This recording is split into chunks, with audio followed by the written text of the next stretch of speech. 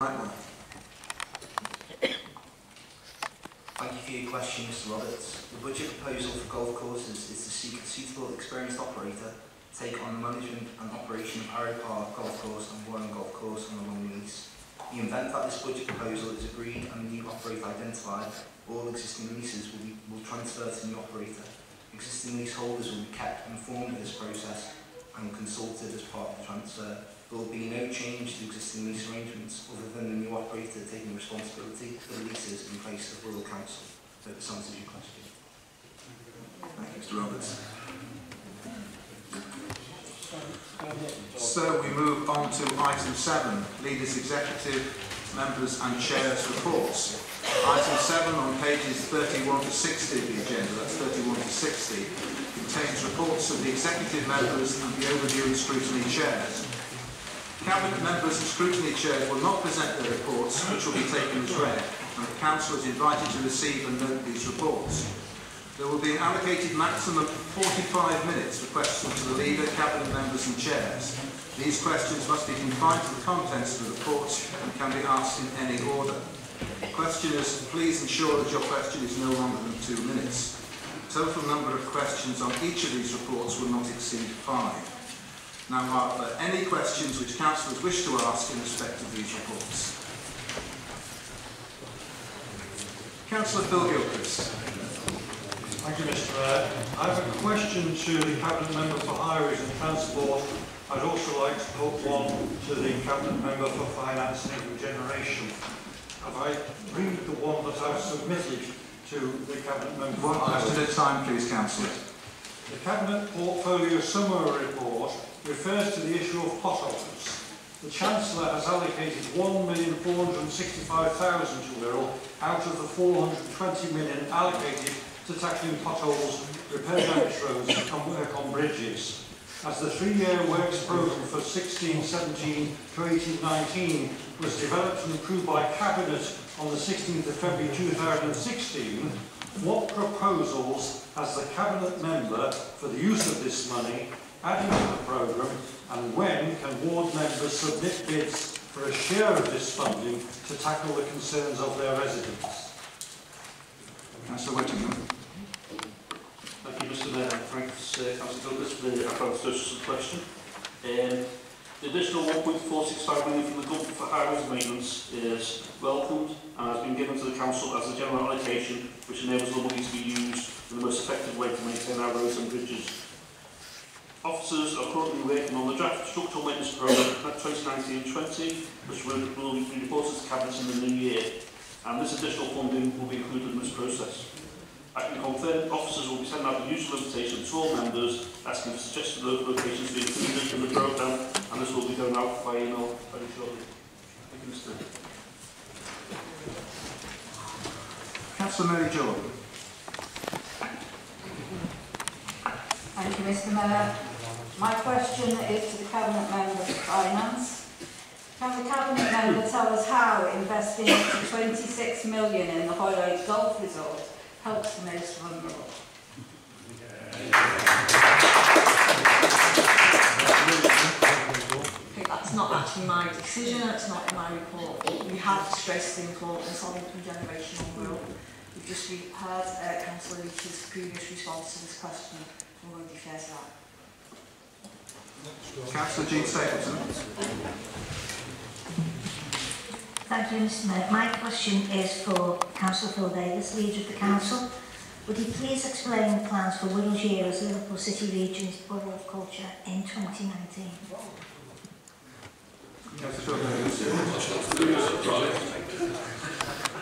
Um, thank you, Mr Mayor. Um, the, the Borough of Culture is an initiative uh, led by the, the Metro Mayor, Steve Rotheram, where, where each of the six boroughs will in turn be given an opportunity to showcase the best of arts and culture in their borough. St Helens was the first borough to enjoy this award this year, which coincided with the 150th anniversary. Last Saturday evening, I had the pleasure of attending a ceremony at St Helens Town Hall, where the formal handover took place from St Helens to Wirral, as we will be the Borough of Culture in the year 2019.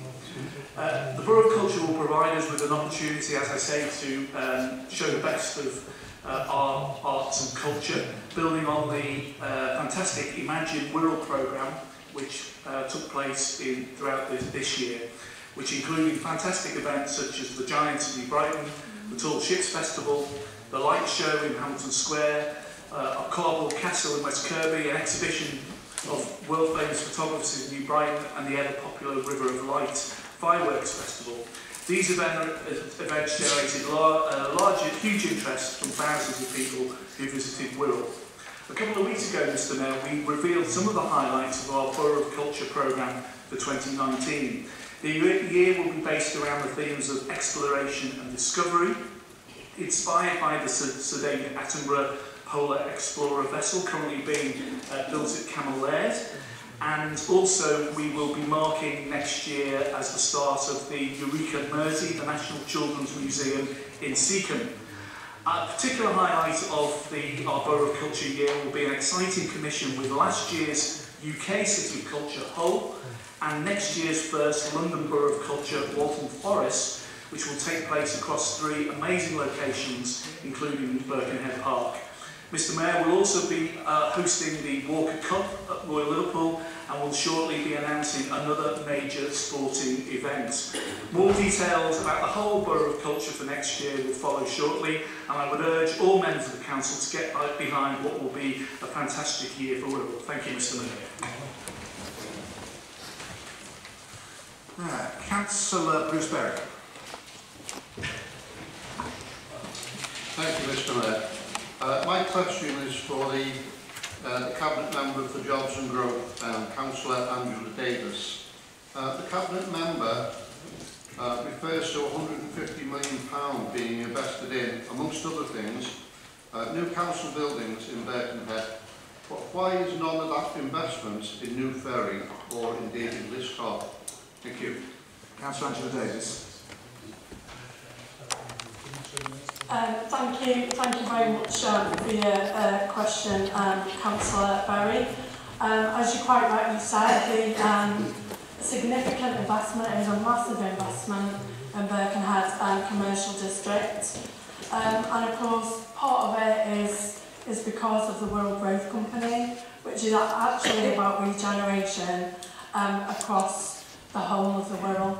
Um, in terms of um, New Ferry, Um, I know that there's a motion on that later on, and also um, Liverpool City Region will be supporting that as well. Councillor Alan Bray. Thank you, Mr Mayor. Uh, my question is for Councillor George Davies, um, and I refer to the penultimate paragraph of the report, in which uh, Council says that uh, since April 2015, nearly 900 properties have been uh, brought back into use. Um, now, as I read this uh, paragraph, uh, Mr Mayor, uh, I couldn't help but notice it was the identical paragraph that appeared in the previous report in the October. Um, and I wonder if, uh, rather than copying and pasting uh, his comments, uh, Councillor Davies could tell us how many further properties have been brought into use in the last two months, and indeed many uh, properties have now become vacant and, uh, uh, and need further attention. Councillor George Davies.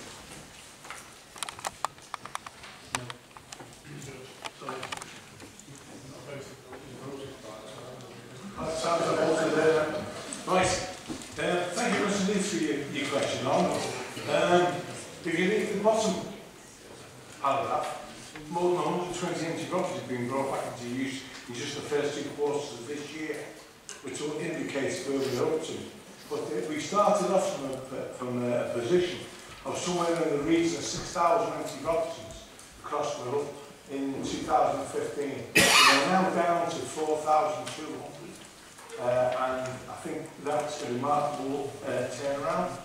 I am confident that the target that I set to the team in 2015 will be uh, accomplished uh, right across the board uh, by 2020 and we'll look at fresh start again. Thank you.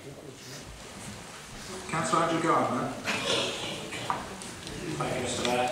Uh, further questions to Councillor George Davies, uh, Cabinet for Housing and Planning. Is the Cabinet member aware that the government guidance states that local housing need does not represent a mandatory target, it is simply a starting point for planning, and local authorities may choose to plan in excess of this, or to conclude that they are unable to meet all housing targets within their boundaries, for example, due to the constraints such as protected designations and green belt. Councillor George Davies.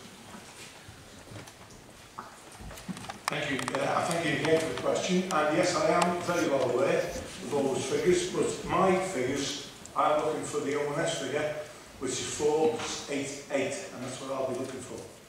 Thank you. Councillor Tony Cox. Thank you, Mr Mayor. Question to the Leader of the Council, Phil Davies. Uh, can the Leader of the Council please tell us why he's chosen to put significant council taxpayers' resources into the folly that is Hoylake Golf Resort?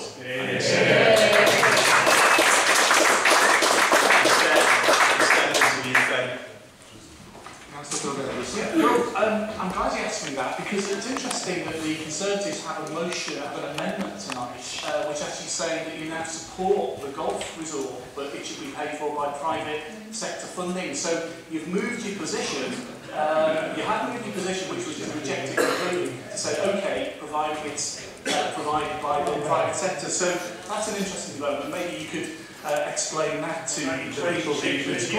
But, the- but the reality is, Mr Mayor, we know, don't we, because of the cuts that this council suffered uh, from central government, the Tory government over the last uh, eight years, the tune of about 250 million, we need to uh, bring in new income streams. Uh, otherwise, we'll go the same way as Tory-controlled Northamptonshire and Tory-controlled uh, East Somerset that have basically gone broke because they spent all the reserves. The consultants so it's, it's, didn't go it's broke. It's essential, it's essential that we look at how we can bring um, uh, additional funding into the borough through schemes like the Hoyle Golf Resort. But as, as, my colleague, as my colleague has said, we're at the stage where we're still doing feasibility studies, we're still looking at the economic impact, the environmental impact. And the depth of the consultants' pockets. I, I believe that you, make, you should make decisions based on the evidence, not just some kind of uh, nebulous campaign slogan. Thank you, Mr.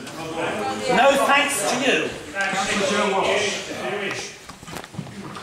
Thank you, Mr Mayor. My question is to Janette Williamson from Finance and Income. Uh, in view of of the Tory government dragging its feet over New Ferry, can you give us an update on what the council's going to do with New Ferry, please? Yeah, thank you for your question, Joe. You're right, actually, the Tories are dragging their heels. They're an absolute disgrace. They, they, completely ignored New Ferry. Um, the latest update is, um, in addition to the um, funding we've already uh, invested there with regards to the clean-up post-blast, which is over 300,000, we've agreed in principle to set aside a separate hardship fund for those victims of the blast, which will be for New Ferry, only for New Ferry, um, and the, the criteria will be different to our, our other hardship funds, the local welfare assistance scheme. So that's where we're up to at the minute. Thank you. Councillor Pat Cleary. Thank you, Mr Mayor. I have a question for Councillor Anita Leech, please. Um, Anita, your report, it refers to the fact that Kingdom have been in the news recently. Uh, however, it fails to mention that numerous press reports and leaked internal communications clearly show Kingdom staff using insulting, aggressive and intimidating behaviour towards members of the public. The Mayor of Liverpool has acted on this disgraceful behaviour by kicking Kingdom out of Liverpool. This follows similar action taken by numerous other councils, including Flintshire, Denbighshire and Conwy. Sadly, Wirral continues to indulge Kingdom's behaviour. Uh, it is clear that the so-called zero tolerance approach to littering in Wirral is in reality an open invitation for Kingdom to behave as they please with minimal oversight. So why does the Cabinet member think that the Mayor of Liverpool was wrong to dump Kingdom and what steps is she taking to ensure those Kingdom staff who have shown such disrespect for our residents will no longer be operating in Wirral? Thank you. Councillor Anita Uh, thank you for your question in advance, Councillor Cleary. As you can see, I can't write very quickly these days, so thank you very much much for that. Uh, just in response to your question regarding Kingdom and the recent press coverage uh, of comments allegedly made by Kingdom staff and the implications of Liverpool's decision to terminate their contract with Kingdom. Firstly, I must state that we are disappointed by the comments allegedly made by Kingdom officers within the leaked WhatsApp group conversations and as a matter of course requested Kingdom's management to launch an investigation into what had occurred. Following their subsequent investigation, Kingdom responded to us to state that the data made available to them by the journalist who brought it to their attention was edited to remove any indication as to who each comment could be attributed to. It was, however, identifiable as Team Wirral, and Kingdom's inquiries indicate a private but unauthorised by senior managers of Kingdom WhatsApp group account which was set up in 2017 between the group who appear to have all been employed by Kingdom and Wirral. Kingdom Wirral's operation is now under the, oh, sorry, under the control of a new management team and as such Kingdom have reinforced the standards expected of any organisation providing this type of service on behalf of any public body and the community they serve. The Council's officers are working closely with Kingdom and the local managers to oversee the delivery of enforcement operations and the requirements of the Council's Environment Enforcement Contract. Secondly, I will point out that tackling environmental crime, such as littering and dog fouling, is a priority for this Council because we know the negative impact that has on the environment and also the adverse effect it has on residents and their quality of life. The feedback we get from residents is that they want to see action taken against the perpetrators of environmental crime. Therefore, we make no apology about taking action. The high-profile deterrent created through the enforcement regime established several years ago is regarded as a key element of the formula that will drive behaviour change over time.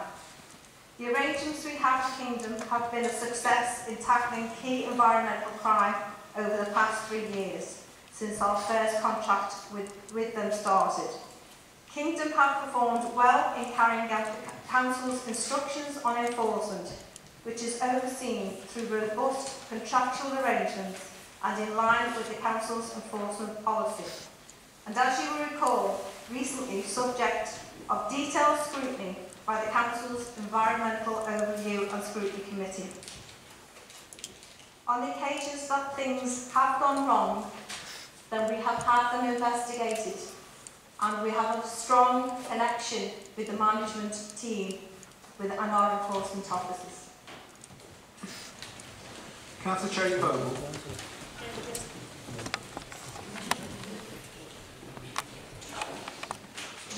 Thank you, Mr Mayor. Um, my question is to Councillor Phil Brightmore, uh, Cabinet Member for Leisure and Recreation. Uh, can I ask, why has Brackenwood Golf Course been excluded from the proposed transfer of municipal golf courses to other providers? Councillor Brightmore. Thank you for your question, Councillor Povall. Uh, Brackenwood Golf Course is part of the Green Space Review, and once that review is concluded, it will be decided what to do with that golf course. Thank you. Councillor Stuart Kelly. Thank you, uh, uh, thank you, uh, uh, Mr Mayor. Question for uh, Councillor George Davies on the housing numbers used in the local plan, uh, specifically with regards to Wirral Waters. The July Cabinet report included estimated numbers for Wirral Waters of 1,100 units over the 15-year period of the plan. In his letter to residents that followed that report, the council leader, leader cited 2,700 units over that period. At the same time, Peel Holdings wrote to us all and indicated a range of numbers depending on their ability to draw down investments, the lower end being 2,900 units through 4,650 up to 6,450.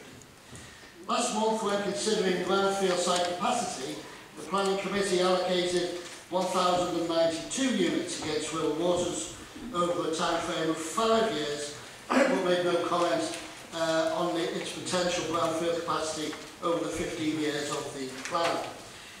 George, you will know that there's only two ways that can avoid encroachment onto the green belt and onto Blackwell Golf Course. First is for the government to accept the new up-to-date ONS figures for household formation, and the second is to ensure the brownfield sites like Wirral Waters are maximised. Can I ask him directly, what is the figure currently being used in the local plan for housing likely to be provided at Wirral Waters? Councillor George Davies. Thank you very much indeed, Stuart, for the, for the question. Um, like you, I am bewildered with Peel. Um, if you remember going back some time, at this present moment in time, we've got 1,100 units which we are waiting and expecting planning permission for in the next fortnight. We have no further number from Peel. We've written to them, we've written to the Minister, and at this present moment in time, that is all I can say to you. At this present moment in time, Peel have guaranteed 1,100 units. Councillor Chris Blakely. Thank you, Mr. Mayor. A question to Councillor Angela Davis. Does the Cabinet Member for Jobs and Growth agree with their old colleague, Councillor Norbury, when he states on social media, Will Council need to take back control of our shipyard, the current owners are proving extreme incompetence and putting the workers at risk along with the whole future of the yard and that of the growth of Birkenhead. And does she also agree with the statement, as a Labour Party councillor, representing the people of Birkenhead, I'm appalled by the treatment of our highly skilled workforce at Cammell Lairds.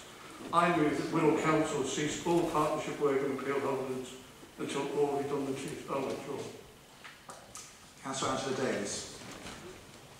Um, thank you um, very much for your, for your question, um, Chris. In terms of um, Cammell Laird, I was proud to, to go on, on the picket line to support the workers there. I'm really pleased at the statement that Phil um, has made tonight in relation to Cammell Laird and that the um, redundancy notices have been withdrawn. Councillor Jeff Green. Thank you, Mr Mayor. My question is to Councillor Stuart Whittingham, Cabinet Member for Highways and Transport.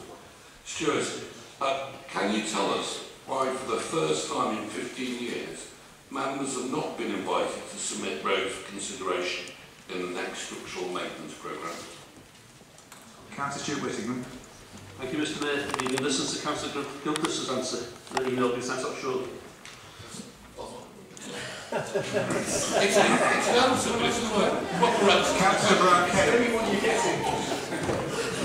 Thank you, Mr. Ma Mr. Mayor. I'd like to ask a question of the relevant Cabinet Member, Councillor Angie Davis. If she can give the Council an update, please, on the plans for the Birkenhead Commercial District. Thank you, Mr. Mayor. Uh, thanks very much for your, for your question, um, Councillor Glennie. Um, regeneration and inclusive growth um, are at the heart of this administration's 2020 pledges. And it was in February this year that Cabinet agreed a joint venture partnership between Muse Developments and, and Wirral Borough Council. And this joint venture partnership is known as, as World Growth Company. It was, uh, World Growth Company was created to lead regeneration across the whole of our borough.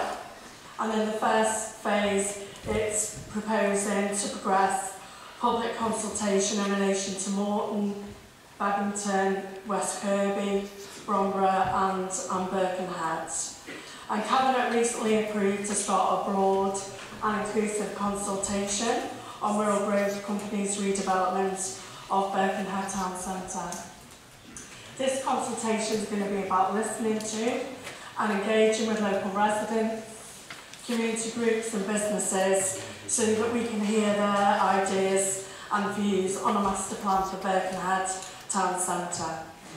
And at the heart of our town centre will be the Birkenhead Commercial District So this is going to um, comprise of an iconic market, an improved retail and leisure offer, um, improved and sustainable public realm, and over 300,000 square foot of grade A office space. Housing? And this grade A office space is an amazing opportunity for the public sector, the voluntary sector and the private sector. Flats? So Borough Council Maisonette. has an Quiet, please. Uh, Borough Borough Council has an excess of 1,700 back office and administrative staff spread out across multiple buildings and sites. And um, we looked at a business case to bring people together into a modern, efficient, accessible and centrally located commercial district. And there's multiple benefits to doing this. Improved communication and joined up working and collaboration. It will um, reduce expensive leases and maintenance. And bringing all those people into the ce- uh, centre of Birkenhead, that increased footfall um, is going to have a really positive impact on the wider economy. People want somewhere to to go and get um, a cup of coffee, to get their lunch, To live. do some shopping, Social and to go out after work. So this is going to act as a catalyst um, for the public sector, voluntary sector and private sector to be a part of um, commercial district. Um, I'm proud of the job opportunities and employment that this is going to create uh, for so many individuals and families. I'm proud of the apprenticeships that it's going to create for young people in our borough. And I'm really proud of the high local, buy local commitments um, that we have made. So Wirral Growth Company is an absolute game changer and I look forward to the regeneration and transformation of our borough that Wirral Growth Company will bring. Proud of the social cleansing. Shopping mall. Councillor Wendy Clements. When does it start? Thanks, Mr Mayor. My question is for Cabinet Member for Adult Care and Health. Um, Chris, you haven't made any mention in your report about the CCG's consultation about urgent care walking centres. Would you just like to tell us whether you've made your own um, submission to the consultation yet and possibly share your thoughts? Councillor Chris Jones. Thank you, Mr Mayor. Uh, as we know, the, the consultation has been going on and we saw the, uh, the petition that's come in. Um, I, I have submitted um, to the uh, petition um, in the sense of the consultation um, and I think we should wait and see what the outcome is going to be. Um, I know it's been scrutiny and is, coming again, I believe. Um, and uh, good luck. Councillor Jerry Ellis.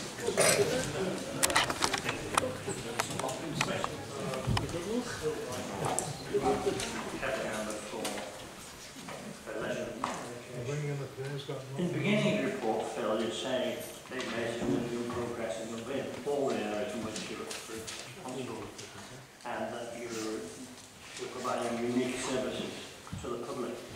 Now, one area in West Kirby, in the park, in Ashton Park, has in the last four, three or four weeks had many of its trees savagely down.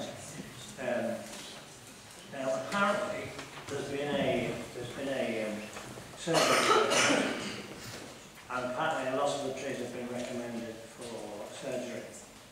But there was no consultation with the local residents about this, or the local councillors.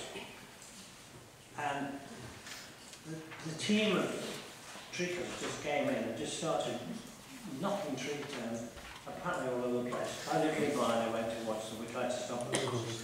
Now, are, are you satisfied that whatever plans were made are being carried out properly and carefully? And are you sure that some of these trees could not be left there? Because they're breaking the hearts of the local residents to see their lovely fine trees being cut down. Thank you. Councillor Whitehead.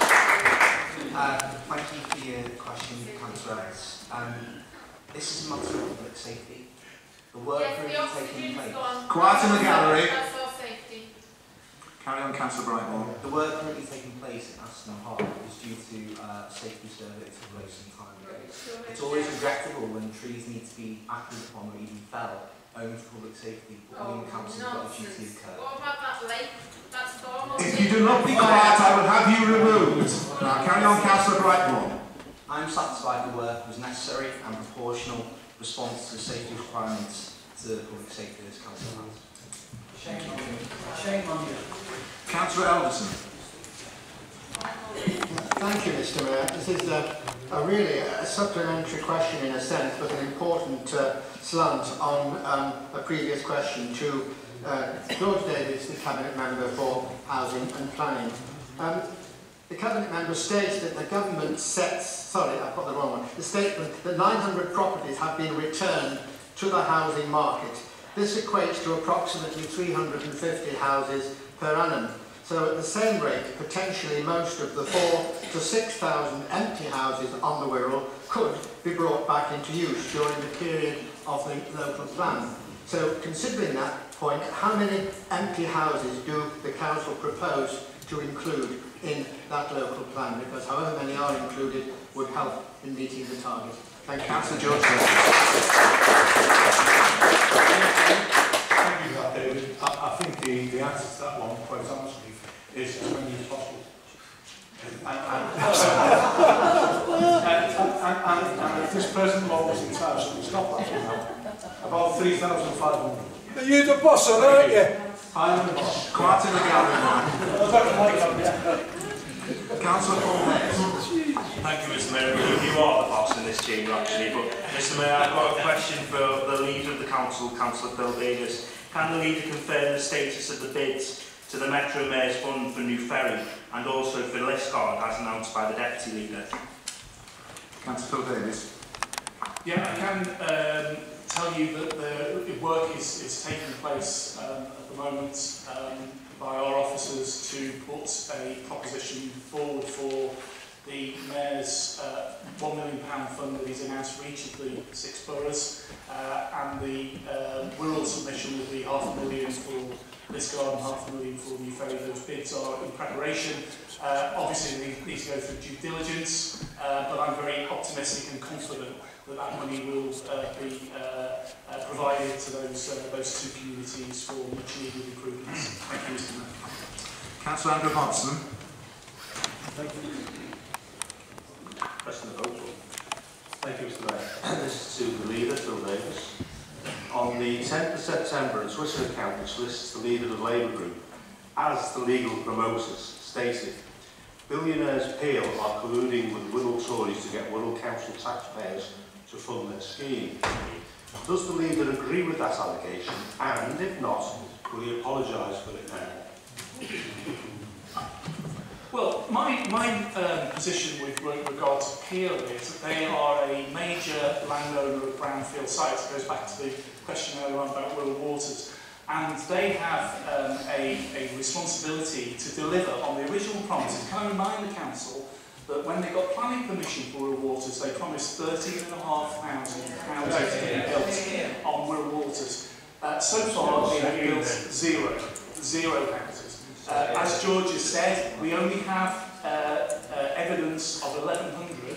So I, uh, and I'm quite happy to repeat this again, Peel need to step up to the plate and meet their commitments and their promises to the people of Wirral. And if they delivered their 13,500 that they originally promised, we wouldn't have to build on any of the green belt. So come on, Peel, deliver what you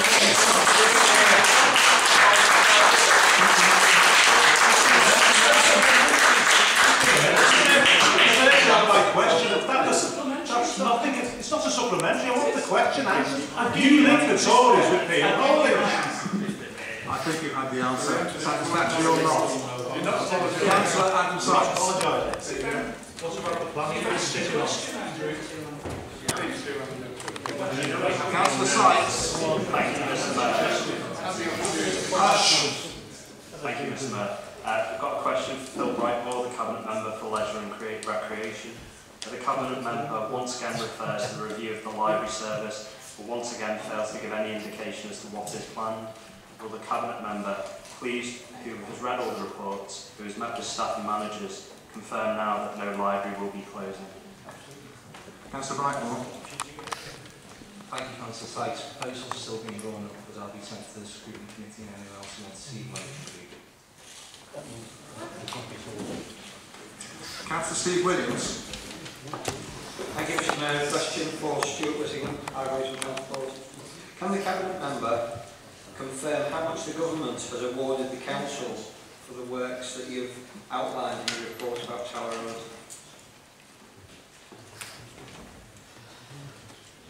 Sorry. Sorry, Stuart Whittingham. Yeah, th- thank you, Mr Mayor. I'll send you a reference. It's a, it's a, it's a, it's a substantial sum, but uh, it's it's off the of my head. Councillor Ian Lewis. Thank you, Mr Mayor. A question for Councillor Brightmore, uh, and to give him the opportunity to do something different to the rest of his Cabinet colleagues tonight. If you could perhaps answer the question, it would be appreciated. Mr Mayor, the Hush the. Cabinet, colleague, the Cabinet member... Sorry? Hush now. Thank you. Uh, Mr Mayor, his colleague, the Cabinet member for Jobs and Growth, re- uh, referred to her delight that the, her administration that she was a part of is promoting inclusive growth. Many of us on this side of the chamber believe that the proposals for Lake Golf Resort are exclusive growth, in that you've got to be fairly wealthy to either live there or to afford to play there. In his report, he mentions, in his report, he mentions the transfer of Arrowe Park and the Warren Municipal Golf Course in my ward in Wallasey, which Mr Roberts asked him about earlier, to an alternative specialist golf provider, highlighting that the national trend, in his report, it highlights that the national trend in golf usage is down. Why is he determined, as part of the Cabinet, to continue with a project that very few people want or need for a, a a support that is in serious decline, as his own report states, and why will the Council not look at other options for the site, such as a wildfowl, a wildfowl and wetlands resort, cycling centre, which would be- which would be appealing to far more users and visitors and do far more for leisure and recreation for the people in this borough, for the many and not for the few.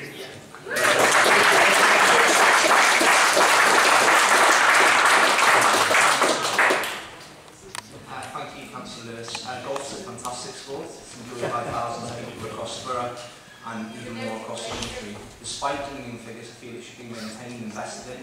One way in which you can do this is by moving uh, the operation of Arrowe Park and Warrens to an alternative provider. But Hoylake Golf Resort is an example of how golf has to change and move into a, a new area in order to attract new people to play the sport. However, as my colleague mentioned, uh, reviews are currently taking place and investigations and ultimately it's not... It's on the decline, don't you know that? It's an operation. Councillor George Davies. Uh, question to the Cabinet Member for Finance. Uh, you refer to the savings from senior management in your report. Can you give Council an update, please? Councillor Janette Williamson. Thanks for that question, George. Okay, thank you for that question, George. Yeah, you're referring to one of our um, budget options here, so a quick update for council. And senior management refers to all workers not on the front line, not in the frontline role, and this includes back office staff on more than 40,000 per annum. It's a restructure of senior management to save the council money. The exercise has been conducted in November and we are currently, council is currently talking to applicants managers to determine whether or not posts can be deleted I would like to assure Council that we are approaching this voluntary redundancy scheme in a certainly more intelligent approach than the Tories did when they had their brief stint in power when they laid off thousands of workers uh, indiscriminately.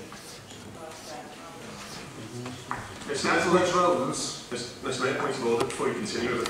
What, what's that? What's um? It, it's in relation. Is it? Is it? Um, perhaps you could ask the Borough Solicitor Is it relevant for uh, members of the executive to ask questions of the executive uh, with regards to their results? Or does it, does it make more sense for it to be the opposition or backbenchers to actually ask questions of the executive to hold them to account? I understand that any member can ask a question. Councillor Les Rowlands. Thank you, Mr Mayor. But I must register my, my dismay that uh, filibustering is going along where members are asking other members of their own party questions, therefore taking time up from the position of asking legitimate questions. This is a question to the Cabinet Member for Finance, Janette Williamson. Uh, can the Cabinet Member advise how much money, if any, is currently owned by the Wirral Borough Council to the National Health Service? And will she provide a breakdown of outstanding debt? Councillor Janette Williamson. Well, I think we all know I'm not going to be able to provide those figures tonight, so I will provide the response to that question in writing. Councillor Lesley Rennie. Thank you, Mr Mayor. Mr Mayor, my question is to the uh, to Anita Leech, um, the Cabinet Member for the Environment. I was pleased to read on page 44 of the agenda tonight and in your report that um, there has been fines imposed on irresponsible dog owners, um, which made me then wonder where, in fact, you were up to with the uh, Public Space Protection Order. Since you've become a Cabinet member, have you had time to meet with any of the representatives who are opposed to that? Because quite clearly, it would be such a shame for Wirral if responsible dog owners were penalised and restricted from where they walk their animals. And just further to that, um, perhaps you could inform us of the correct figures um, and I hope I pronounced this right, for um, the disease of toxocariasis, I think it's called, um, which clearly affects affects people who are uh, become infected with um, infections uh, caused by the uh, feces of uh, dogs, particularly because I think um, when the leader of the council at the previous meeting informed us, um, he must have been misinformed because uh, the figures that he gave were grossly exaggerated for Wirral.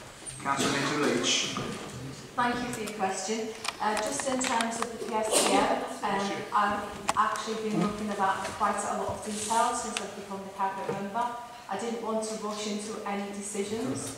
Uh, we're actually going to have some uh, pre-decision scrutiny on that. The date has just been set for, I think it's the 15th of January, if my memory serves me right. Um, so um, hopefully the pre-decision scrutiny will bring up all of the points that have been raised by uh, the various uh, members such as Wirral Good Dogs, etc. Um, I have agreed to meet with them um, ahead of that or after that, whichever you know suits them. Just in terms of the information that was given to uh, Councillor Davies, um, it was my mistake. Um, I gave him that figure and uh, it was uh, an administrative error because unfortunately I'm having to write with my left hand at the moment and when I was taking my when, yeah, the, oh, yeah. When, when I was actually taking my notes um, I actually wrote, wrote it down and I, I interpreted it as six and I do apologise to the council for that. Councillor Chris Carradine. Uh, thank you, uh, Mr Mayor. This is a question for uh, Christine Jones. To carry on actually, I wasn't going to say anything, but it was uh, a comment she made to um, Councillor Clements when she asked about the funding and CCG stuff, and she said good luck with that with the next time it comes to council, or the next time it comes to scrutiny. Could she um, figure out some way of changing the constitution or applying to it for us so that the Children's Scrutiny Committee can have a vote on this as well? See, we've argued and argued. We were allowed to sit at the big table and ask questions, but we can't vote on it, which is ridiculous. I believe it's a constitutional matter. Councillor Chris Jones. Uh, thank you, Mr Mayor. I, I know that in the last two callers there's been a real concern of, of all members, really, that um, the Children's Committee have not been able to, to actually vote or be very involved, especially in the last one. Um, but I, I think there's a, going to be um, a bit of a review anyway of the Constitution and I wonder whether, you know, we could look at that, Mr Mayor. Thank you. Councillor Phil Gilchrist. Thank you, Mr Mayor. A question for Janet Williamson on the Finance and Income Generation Report. On the second page, it writes about the government taking the final steps towards removing central financial support to councils like Wirral. Uh, whilst there's a degree of national chaos about the government at the moment